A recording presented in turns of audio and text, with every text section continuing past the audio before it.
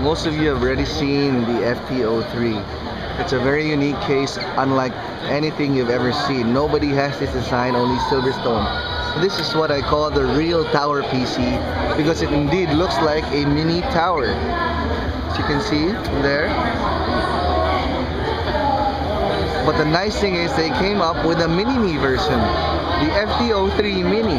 I'm actually getting a review sample very soon and I can't wait to test it out. It's a small form factor version of the FT03 and you'll see that the difference is this is the uh, slot drive over here well on the Mini it comes on the side and it looks very cool. Wouldn't you want to see this on your next LAN party? I would.